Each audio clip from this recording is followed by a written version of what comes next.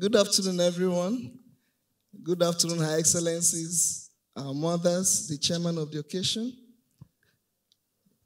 our hostess, my sister from another mother, Ajia Aisha Babangida, and my sisters, Alaingi is there, and so many of them. I never met quintessential Maryam.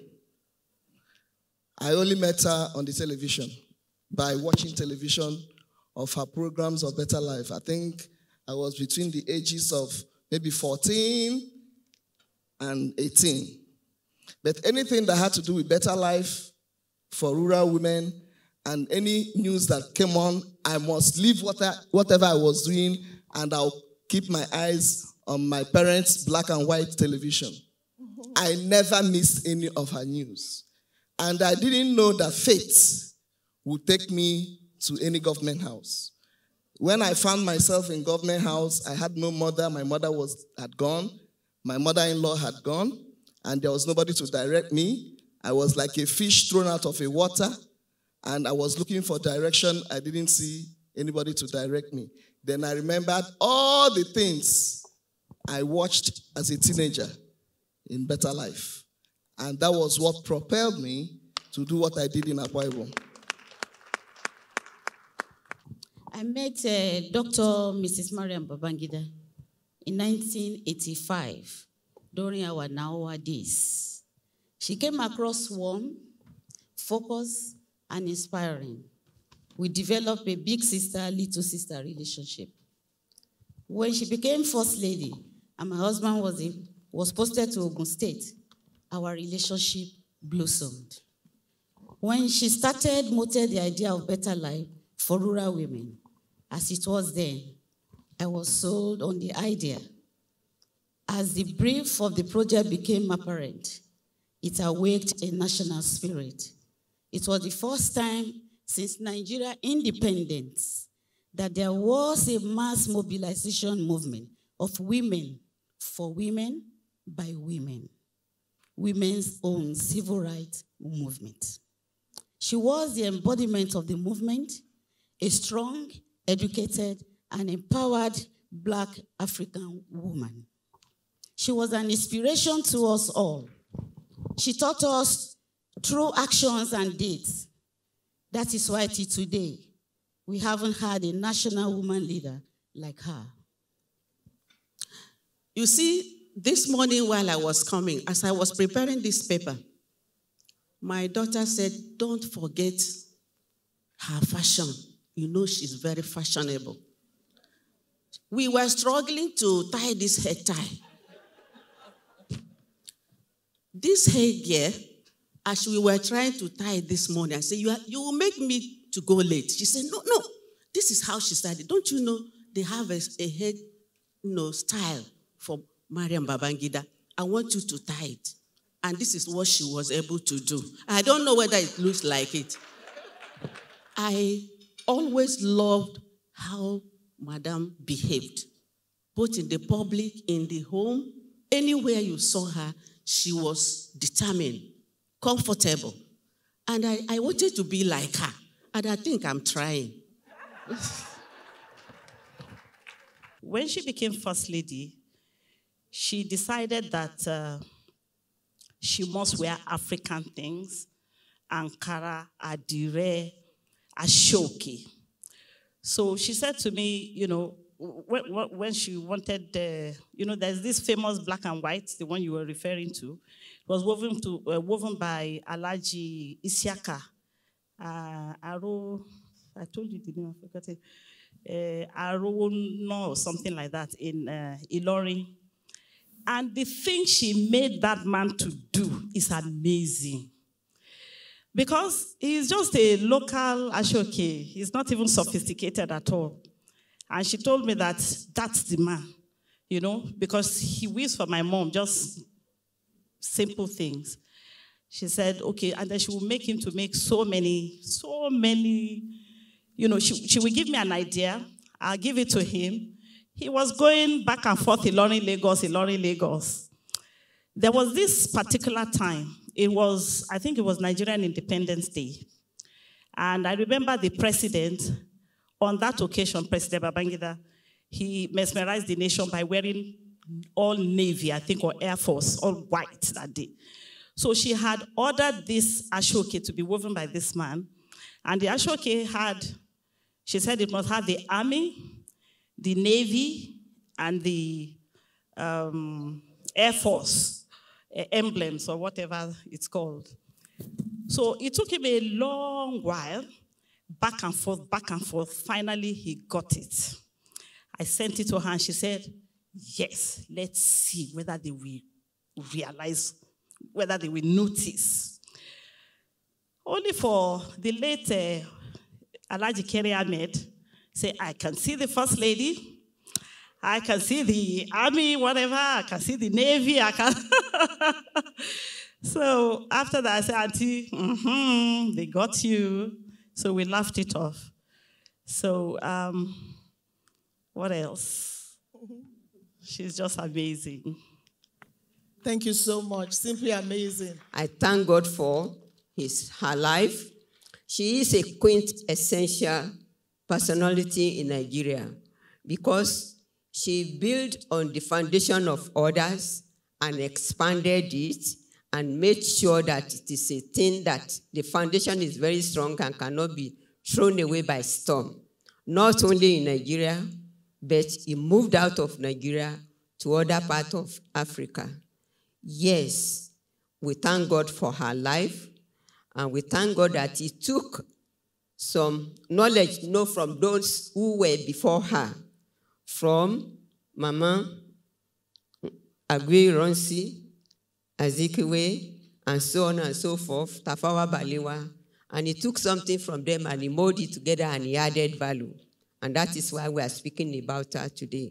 And we pray that people too that are in this kind of position will add value to whatever another person has done to make us to make progress. Little is much. When a little is added to a little and is blessed by God, it becomes bigger than what it is. I thank all the other first ladies that came after her because they did not throw it away. They had their own project, and that has made Nigeria a better place today. We will not be there forever. People will come after us, but we must continually do the right thing that we make people build on the foundation that we have built. Thank you very much. I was a pioneer staff of Lagos State University in 1984, and uh, I became head of department just during the regime of IBB. And uh, as an academic, I want to do this in staccato fashion so that I don't waste our time. I want to look at the signposts of the things we used to talk about. It was novel to us that a woman, first lady, would bring forth the concept of first lady to such an elegant height. We were mesmerized. And fellow colleagues, female academics, we used to have a weekly meeting. And one of the first three things we would discuss what did Madame wear last week?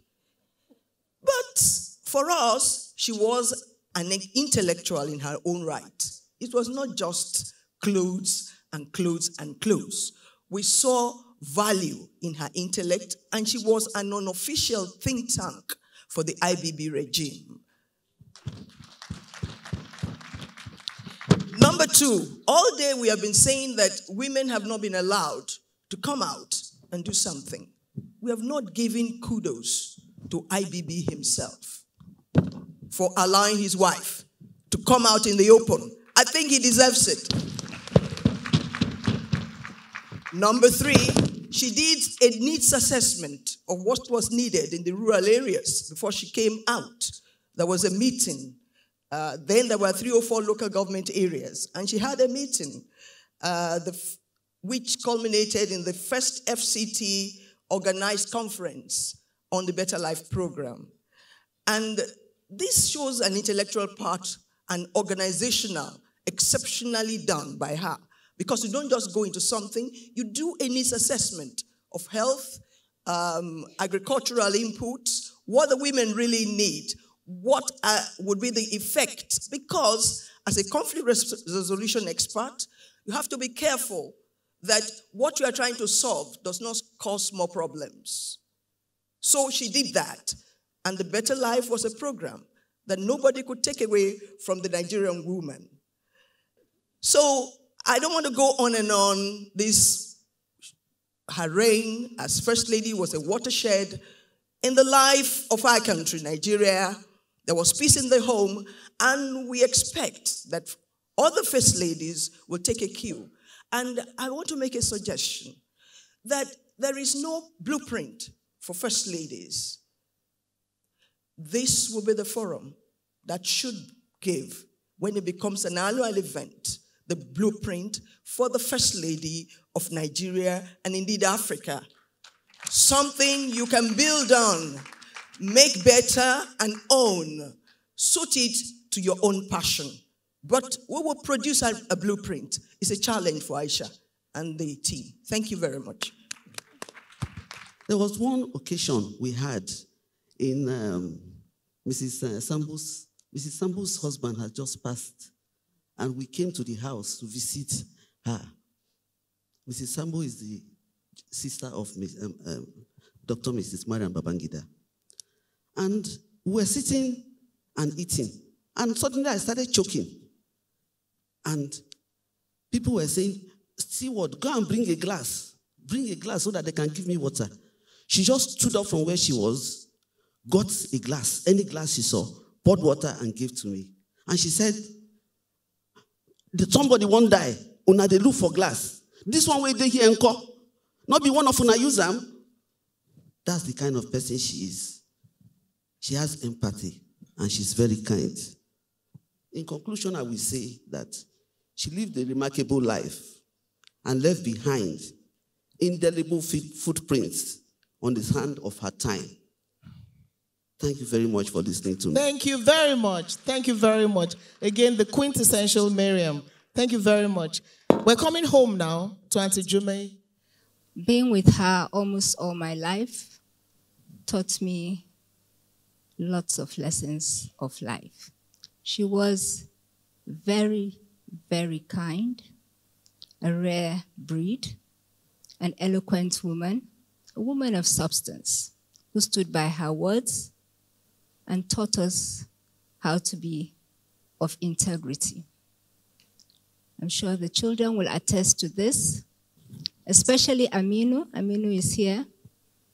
Um, when we have, when she has guests, she will tell us to sit on the floor.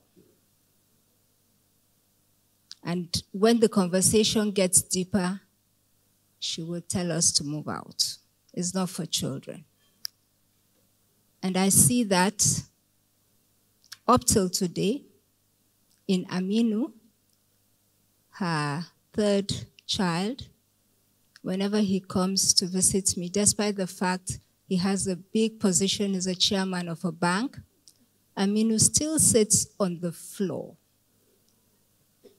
and we converse together that humility, that simplicity, that well being, I think gives us that respect from other people. Then, my dear daughter Aisha, who, of course, yes, I looked after her, we're all over, all over. Then she's dear to me, also with Muhammad and Halima um, Halima used to call me Auntie Mimi. Remember those days? We move around when she was small to Mrs. Bali's school. And she says, This is my school. Turn left, turn right. I'll never forget the upbringing. It was simple, humane, humble, sincere. And today we can see that the children are standing tall. Thank you for supporting your mom's legacy. Thank you for withering the storm. I know it wasn't easy and it's still not easy. God never promised us ease in this world. He said it will just be easier for us in the hereafter. So remain courageous, hardworking, strong, resilient, and brave, and you'll overcome. So I want to talk about Sauka Kahuta.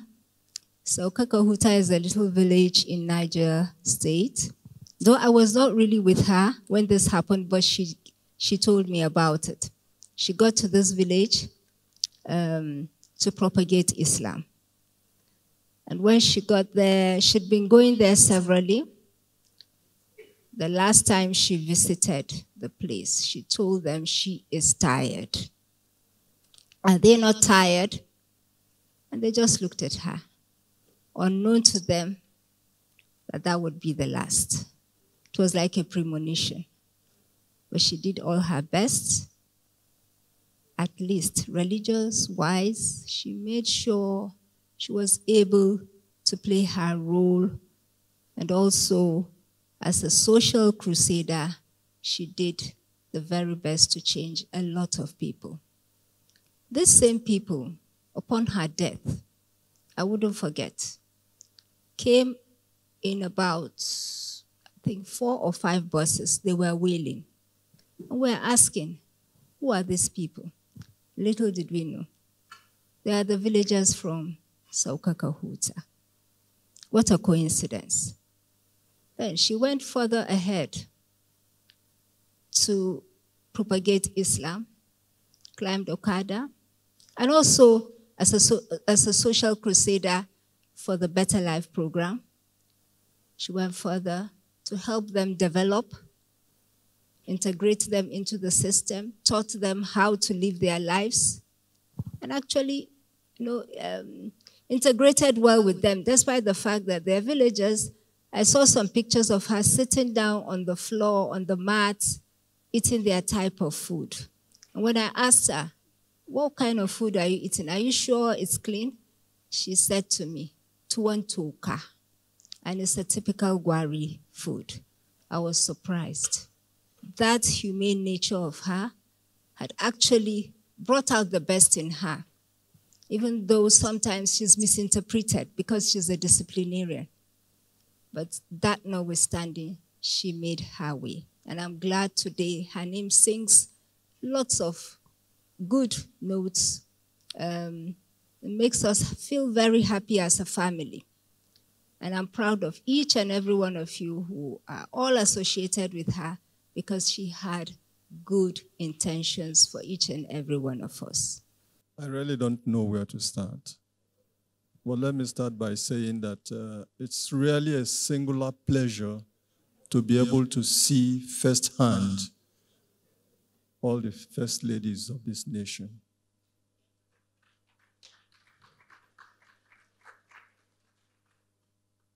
If I use abbreviations, please pardon me. I don't know whether it is MIB that deserves IBB or IBB that deserves MIB, but they are what we would say an excellent pair.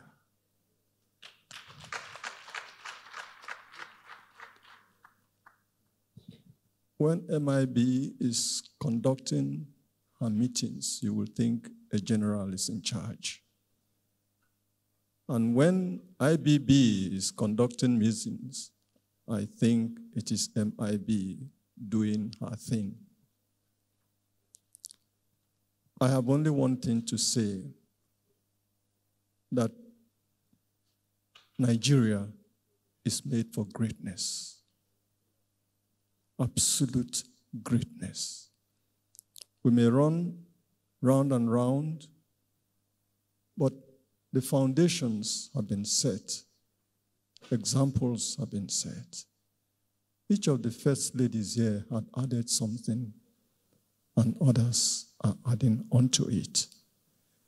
If we can get the 70% of the population in the rural areas and mainstream them into the development activities of this country, we would be going somewhere. It is here, one is hearing about all those people who had contributed. Who would have known huh. that uh, people have been consulted that, uh, well, let me not just go into all of that. But my promise is that it is time this nation relaunched DFRRI. Not necessarily in that name, but one is working on it. In the next couple of months, we will be ready.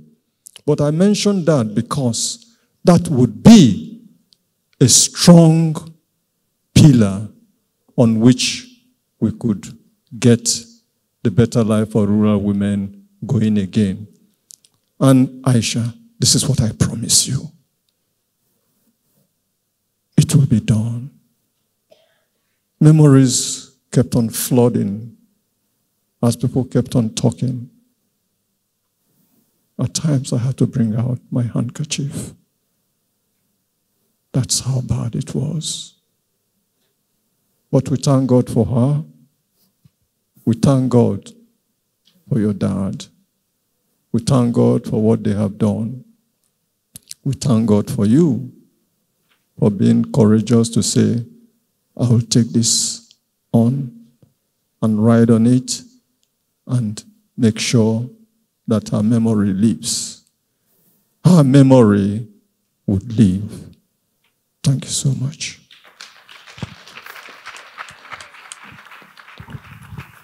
I want to thank Auntie Aisha. I want to thank you so very much for bringing up this great memory event. I want to thank you so very much for bringing everybody together. I want to thank you for letting me part of this great event, to letting people know that mom really impacted so very much in me. Thank you so very much. Thank you very much.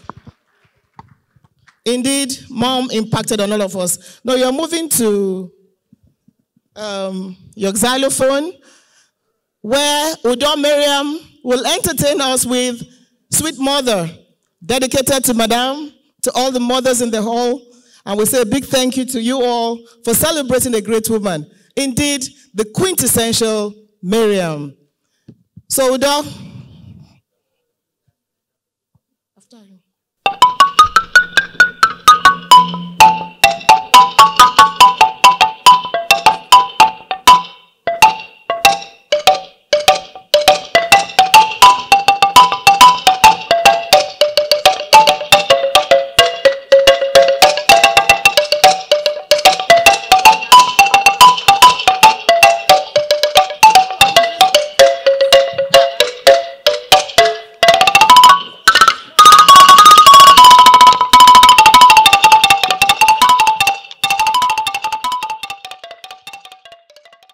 Good afternoon, my very, very distinguished mothers and the gentlemen here.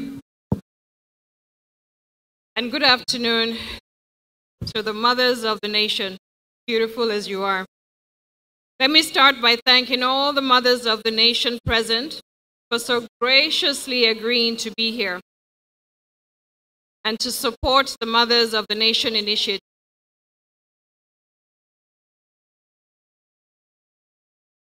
One house, please. Thank you so much. We understand that everybody's excited concerning this, but we need to give honor to Aisha. She has done so much, and I believe it's best we listen to what she has to say. Thank you very much. Thank you. So I hope this will be the first of many events to celebrate the achievements of our dear mothers. So I'd like to thank all of you for being here today especially those of you who traveled long distance. And I'd particularly like to thank distinguished Senator Daisy Danjuma, who so graciously agreed to be our chair today. She is not only an outstanding public servant, but was also a very, very close friend of my late mother's and remains a much loved family friend. We are all here to pay tribute to our mothers of outstanding courage, wisdom, and integrity. Ladies who have served their country selflessly and often without due recognition. And those commitment to the betterment of our country remains unwavering. I'm sure I'm not the only person here who is in awe of these amazing ladies and truly inspired by their examples.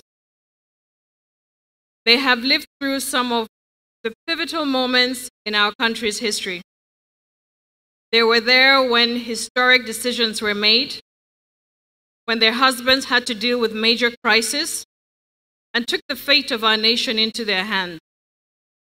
And yet their role as First Lady was to maintain their composure, to observe proper decorum at all times, and to represent Nigerian womanhood at its best. History is often seen as something that is made by great men. And it is said that behind every great man stands a great woman. But throughout the modern history of Nigeria, our first ladies have not stood passively behind their husbands. They have been a source of unstinting moral support, of quiet political and intellectual counsel, and of course, of emotional comfort and solace. And not only for their husbands. Ever since our country gained independence in 1960, our first ladies have been public figures committed to the common good of all Nigerians.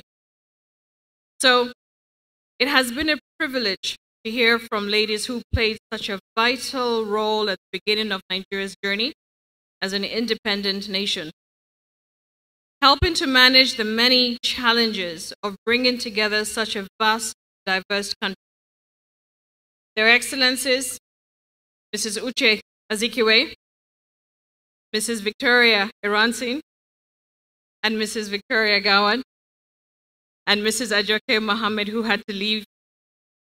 We're married to some of independence, independent Nigeria's earliest presidents and represent the generation that helped shape our nation as a self-governing entity. On that note, I would also like to thank those family members of the late Alhaji Tafawa Balewa and of Alhaji Shehu Shagari, as well as my own family, for being here today.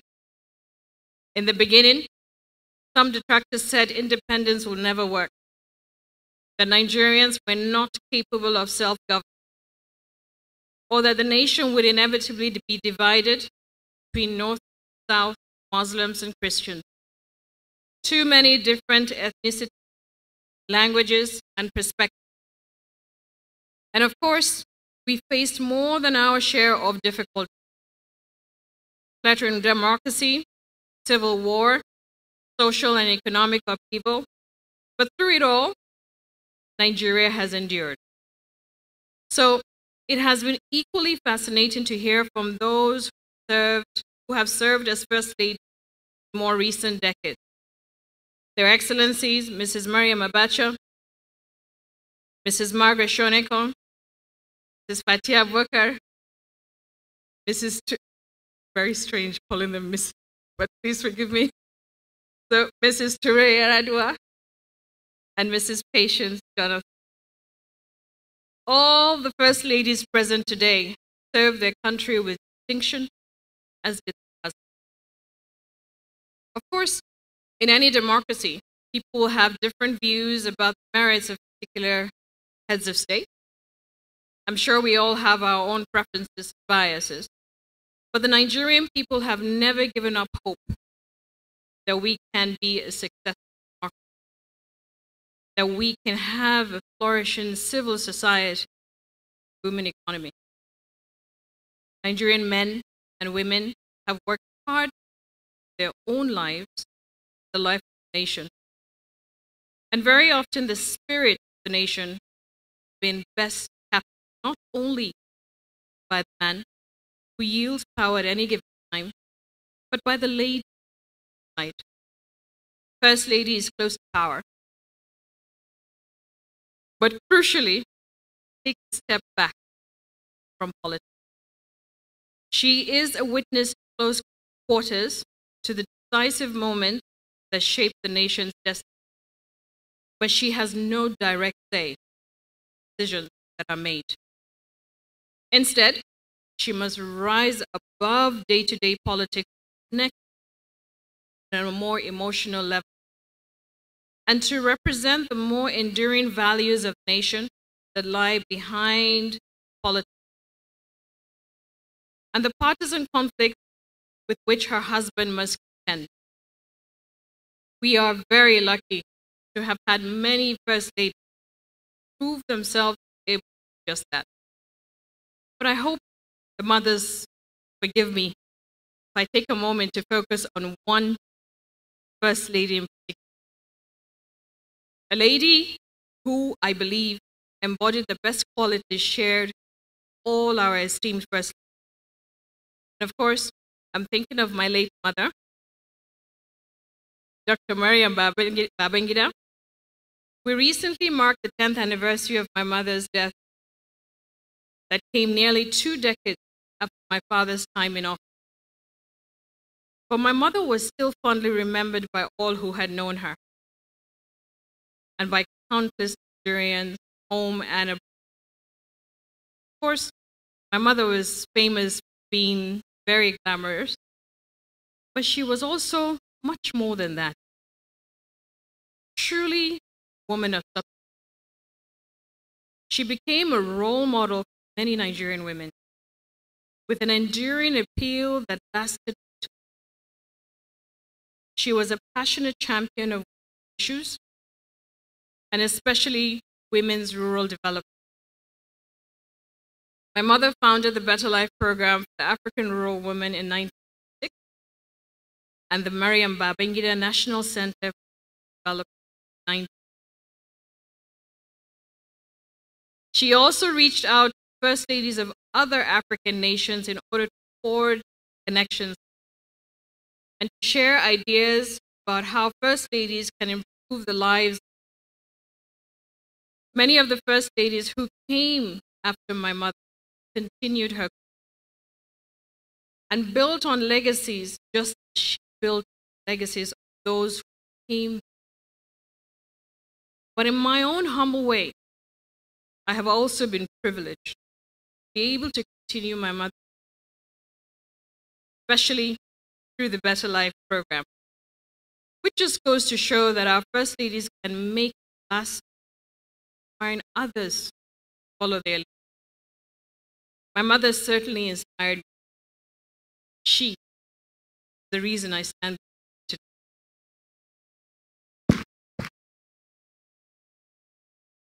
I was in awe of her education and all she was able to teach me. A mastery of protocol, a knowledge of statecraft, and perhaps especially her personal discipline and basic person. So I want you all to be as inspired by my mother's example as let us appreciate and acknowledge her memory and remember her example not only in all we do, but also how we do. So whether you are a politician or a businesswoman, wife, a mother, Dr. Maryam Masi Babangida remains a role model above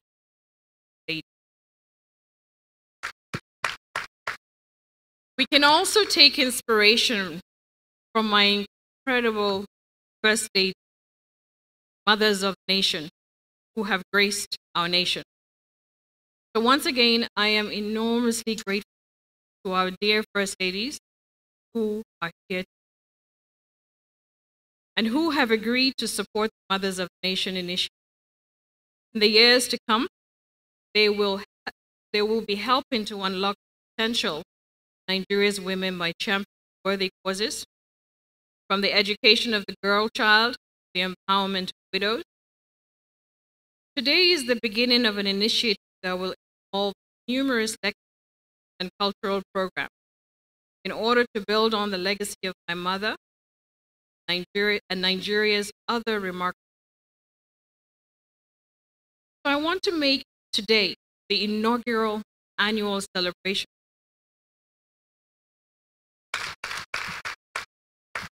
Next year, and the year after, and the year after that, we will gather again, share ideas, celebrate successes, and to plan further events and initiatives.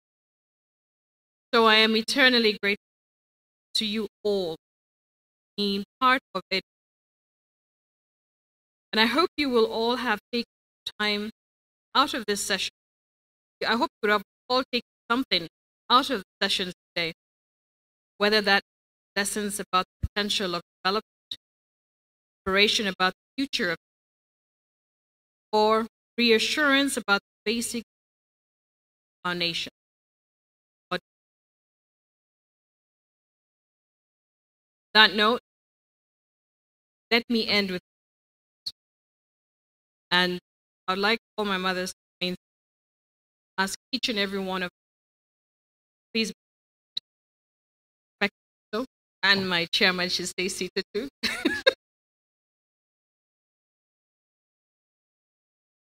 I want to say, I want to do a little prayer first before I tell you what I want to do. First of all, I would like to pray to God for our beautiful mothers. May God continue to protect you. May He give you health. May He give you patience, tolerate,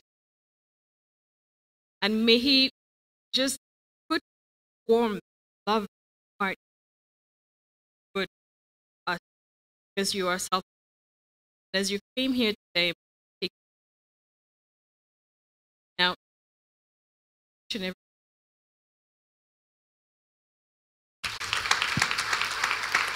to our wonderful first ladies thank you very much. Thank you